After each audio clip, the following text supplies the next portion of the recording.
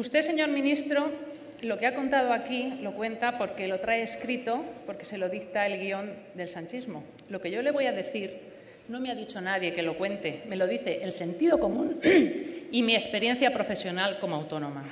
La esencia, la esencia del Real Decreto que hoy trae a convalidación, mire, reside en tres pilares que son los principios de las políticas de este Gobierno.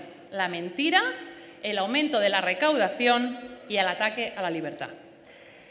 Muchos de los que pasen después de mí por esta tribuna pues mostrarán su complacencia con el nuevo sistema de cotización para los autónomos y hablarán de sus bondades, como si se tratase de ese bálsamo de fierabras al que aludía siempre el ingenioso Hidalgo de la Mancha.